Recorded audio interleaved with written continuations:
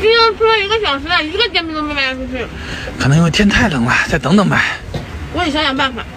行，那你先想吧，我去给你买瓶水啊。这咋这么多人啊？啊，都等着你摊煎饼呢。咋回事？